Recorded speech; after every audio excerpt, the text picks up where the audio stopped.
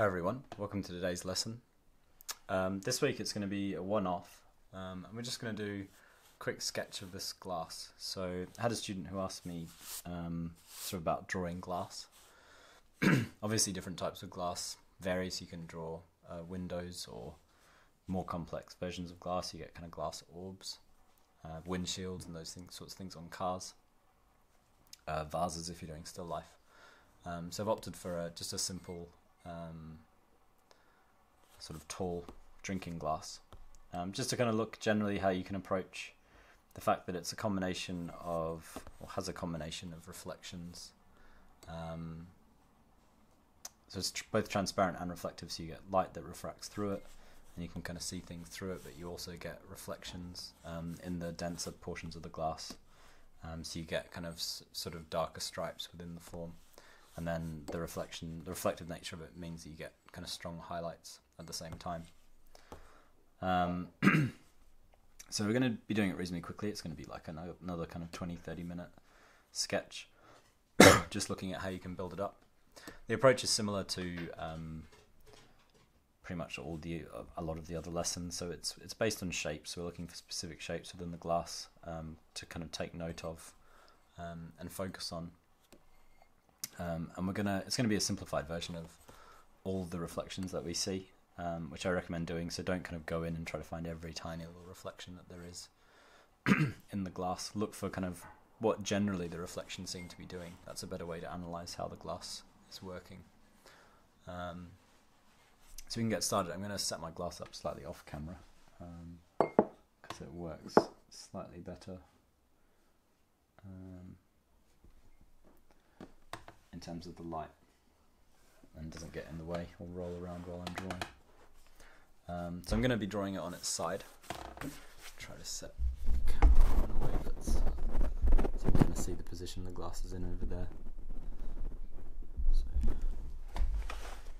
maybe I'm just going to swivel my camera around a bit to try to get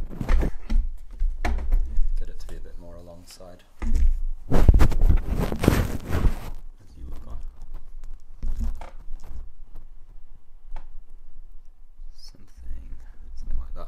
Should be alright. so, just swiveling my glass around a bit, trying to get a nice angle on it. So I'm going to begin just by sketching the cylindrical form. A bit of a mark left on my paper there. So, um, yeah, I've got a slight tapering of the glass. So if I do the sides of it first, the glass kind of naturally tapers.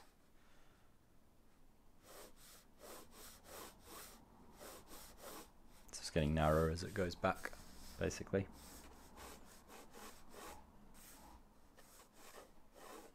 So I'm being quite light with my lines, which is always a good way to start.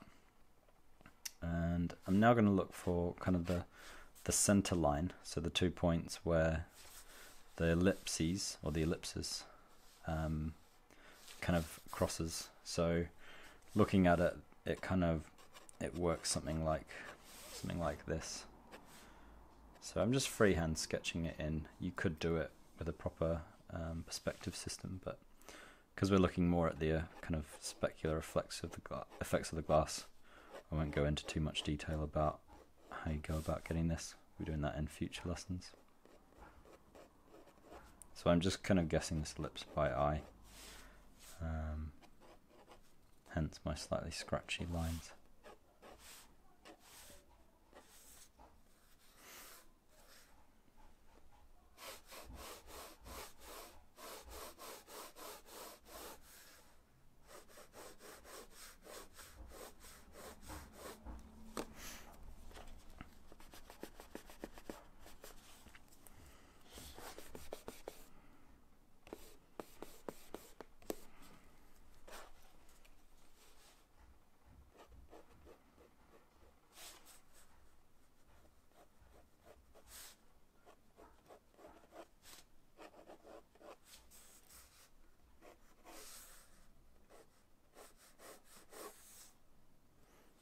Yeah, it's not too bad.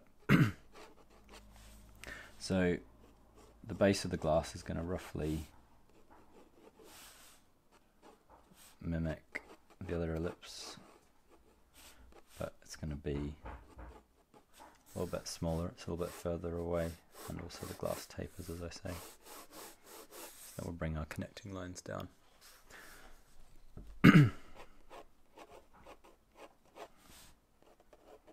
Just slightly changing the angle of the ellipse. So you can see as I tilt that up, it, it kind of makes a bit more sense in the context of these um, side sections. I've gone slightly too dark. I generally would prefer to, things to be a little bit lighter, so what I'm going to do is just lightly erase back over what I've done.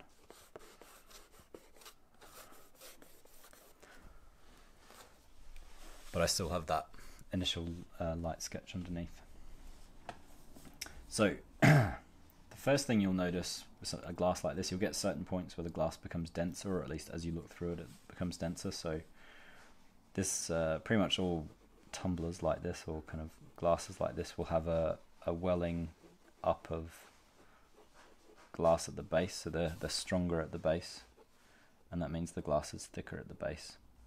So rather than being kind of transparent, not transparent, but like an empty vessel essentially. Um,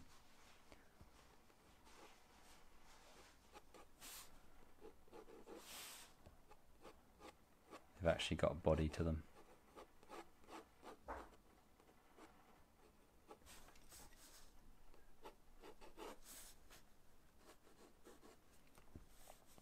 So that's going to be the starting point for my first set of reflections. So as I look at it, I can see this shape here,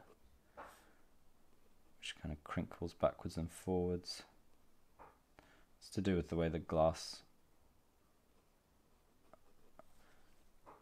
the density in the glass works. Then got another slightly lighter um, kind of shadow, not shadow really, but accumulation of value here. And they're separated by a kind of fine gap. So what you find with glass, you'll get lots of, you get a little bit with chrome as well. Sections like this where you get little gaps um, where an internal reflection is occurring. Um, and you don't have to worry too much about the physics, I suppose, of why those reflections are there, certainly when you first start. What we're doing with this kind of exercise, just observing. Um, so it's quite an interesting subject to work from, if nothing else. Um, I'm just going to start. So as you add things, you can sort of start shading them in. So I'm going to shade in that. It's one of the darker points in the glass. So I'm going to shade that as an early note.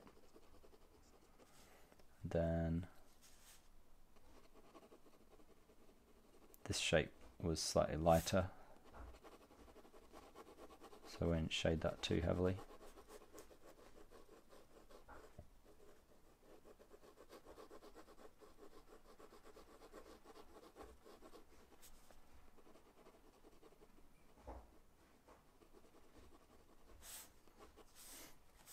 This one will probably get a bit darker um, as it progresses.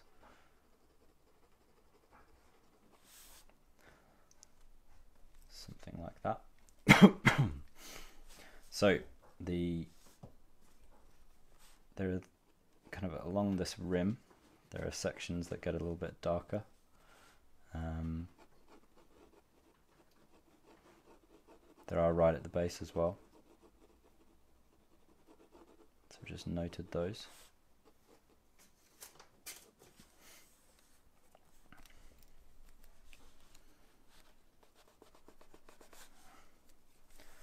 Then got a general sort of gradient running from the top of the glass up there down to this darker shape so we can sketch that in. So you're kind of looking for gradients and, and sort of dark patches to work with. And from that you'll start to build up um,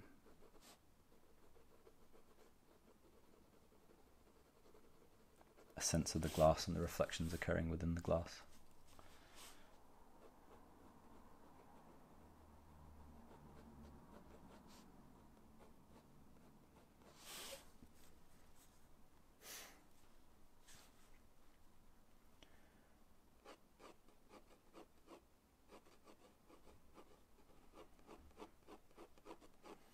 Now start working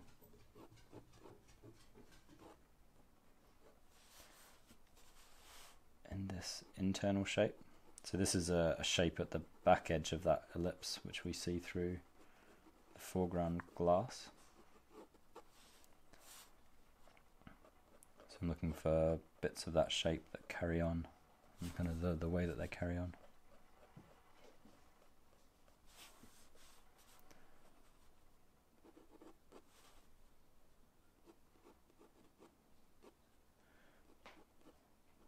Got a few bright white highlights, so they're going to remain. To try to keep them completely white as I'm shading in this section.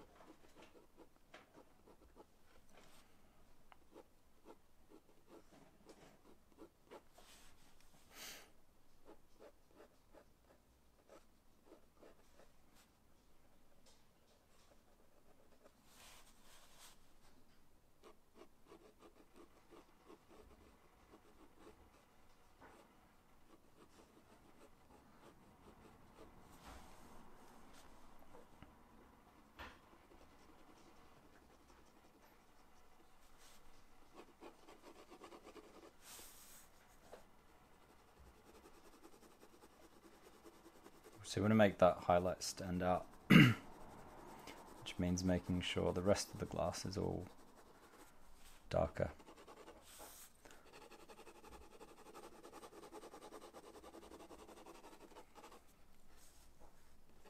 So we're looking at kind of modulating our values as we always do to try to give the right effect.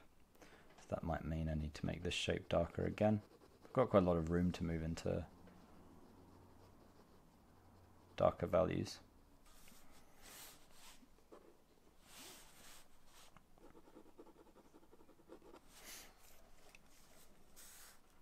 And we're gonna, at some point, we're gonna be going back and erasing back into some of these highlights as well to make them stand out. They won't stand out initially, um, just because you don't have that much of the, the glass drawn in. As more of it gets drawn in, um, they'll become more apparent. So I'm now going to move right up here um, because there's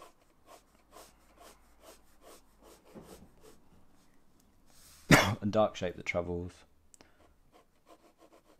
all the way from the top here.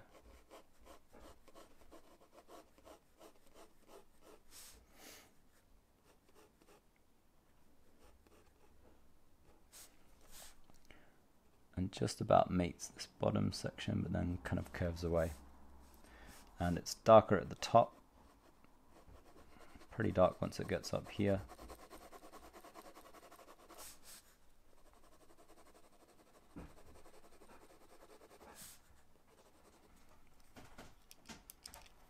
and then gets progressively lighter as it travels down towards the base of the glass.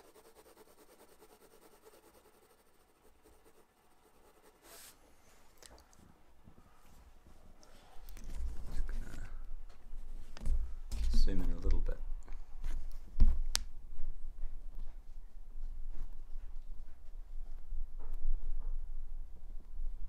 Try to get my camera in the right position. Chasing in a bit. Oh. That's not too bad. Just make sure it's focused. Yep. um, so yeah, I've got that shape blocked in now. As I say, it's darker up here at the top.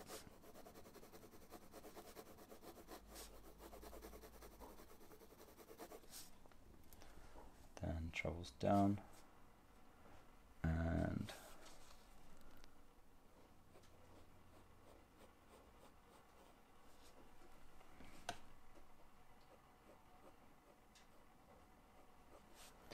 is then a little bit of a jump, a little bit of a gap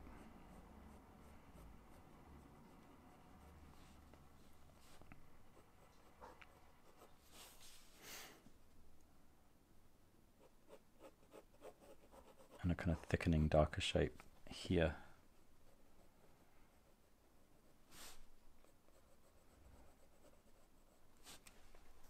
And that starts to show off the. Seems slightly overexposed my picture. I'm just gonna.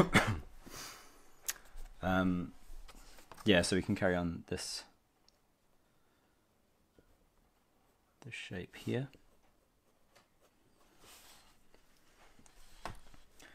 And it kind of runs down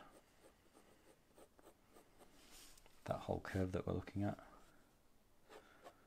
Travels down the other side. It gets very thin and then it gets thicker again near the bottom.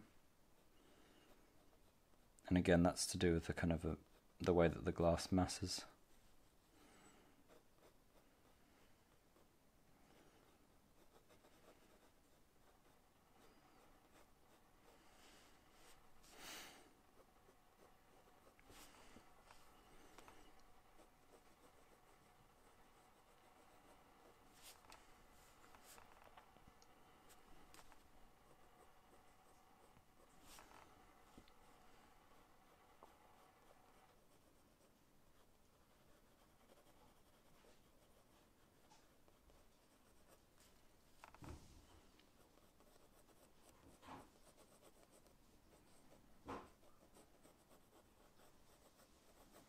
So kind of looking for thickening and thinning sections here around the rim.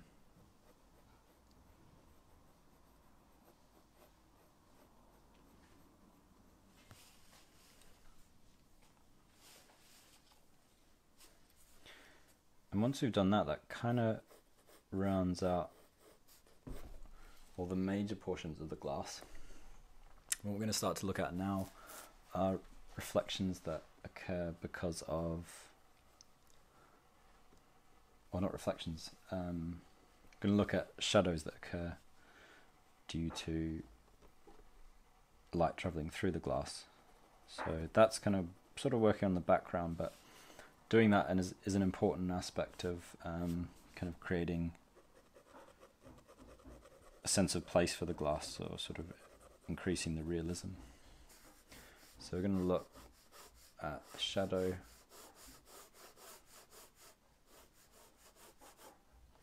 Cast by the glass.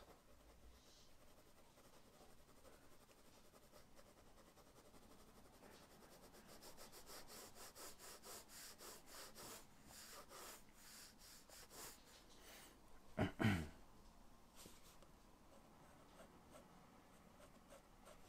you'll start to see kind of relationships between sections where the glass is thicker, so the glass is thicker here, which means it's casting a thicker shadow onto the onto the ground. Generally, it's harder for light to travel through the rim, so that's darker than the interior portion of the shadow.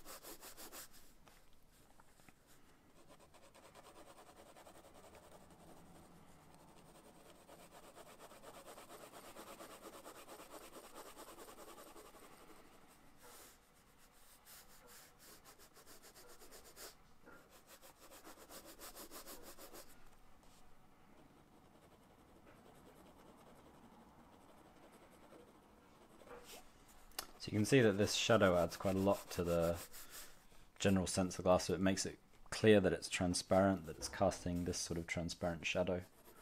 Um, the shadow makes sense in the context of the, the forms in the glass.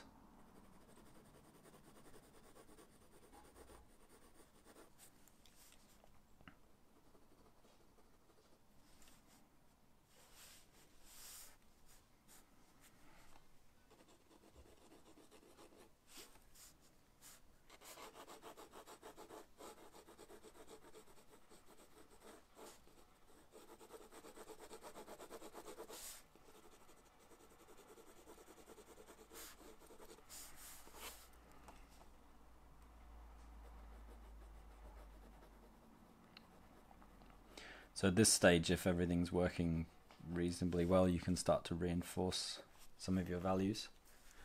Um, some of the darker sections,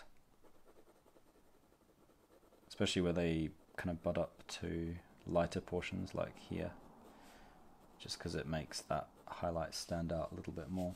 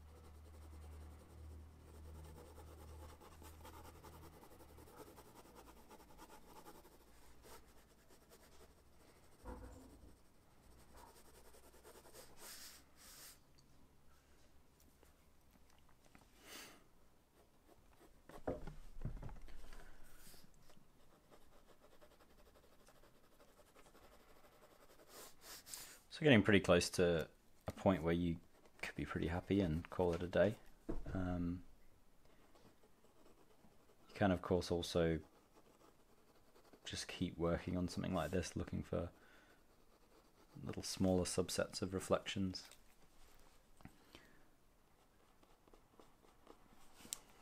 Um, kind of working backwards and forwards, so you can go in and um, look for specific highlights.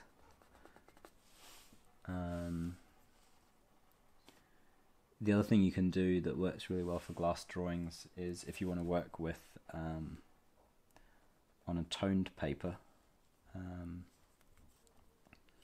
and draw in pencil or charcoal, um, the darker sections in pencil or charcoal, but then for your highlights use white. Um, that works really well. so you can kind of see the highlights they only really become more apparent as I start to sort of tone everything else in. Um,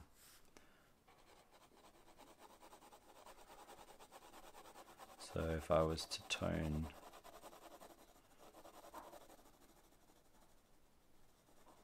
glass a little bit more there, then maybe make it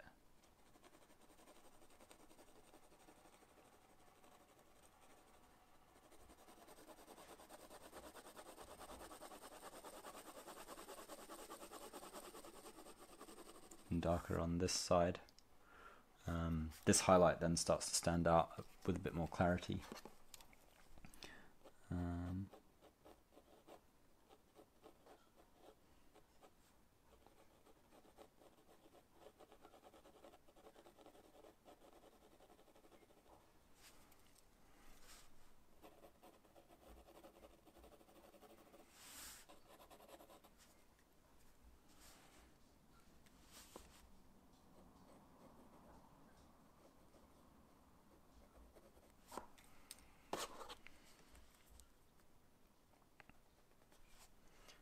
Wanted to amplify that even further, you could maybe start to shade in the background as well. Although doing that would then require you to, we can do this in a second, but it would require you to start going back over everything you've already done and darkening that further as well. Um, but it does then give you a, a greater kind of potential range to build your highlights in your glass. So just loosely sketch this in. So that would mean you'd then have to go a bit darker again with all of these internal values. You just kind of keep adding to them just so that you can see that you're looking through glass so it's a little bit darker than the than the background it's resting on and then likewise this bit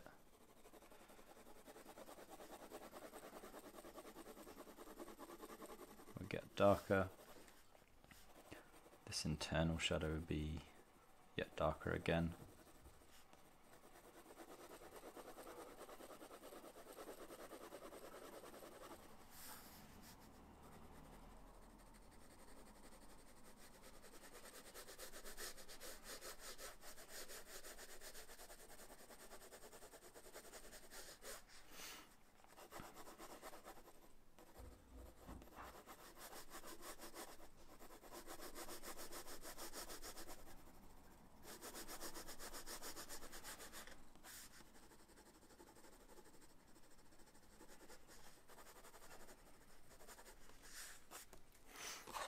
So that gives us a bit more range for these highlights on the rim of the glass.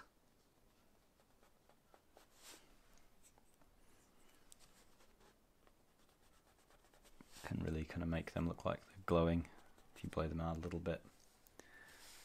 Uh, can do the same on this this little one down here.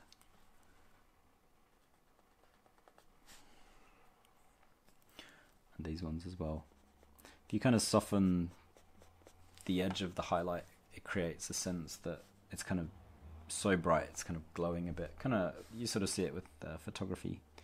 You can sort of mess around with those effects a bit. So I can go in and find some of these these highlights where they're occurring. I think that's about it for all the major ones. Maybe have a little bit of a kind of glow out just along there. You can kind of mess around and see certain things will like amplify certain effects as well. So you can erase backwards and forwards, add and remove tone, see how it affects the drawing, especially when you're first um, kind of practicing these.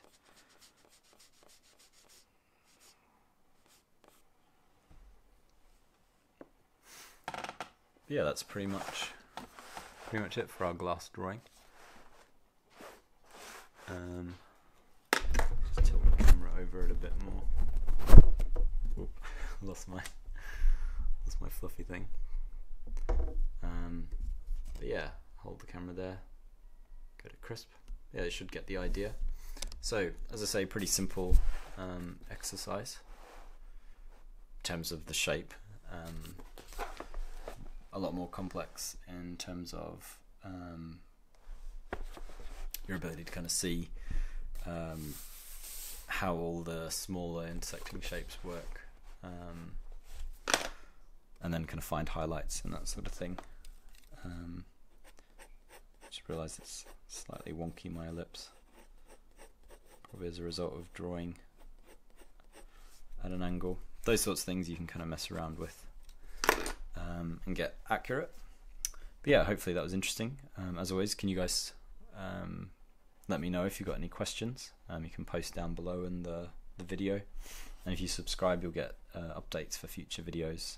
Um, if you go to OCAD, you can, the OCAD course, which should be a link below, um, you'll be able, be able to see if you're interested in signing up and you'll be able to get kind of one on one tuition um, through the course that way um, when you're working on these sorts of projects.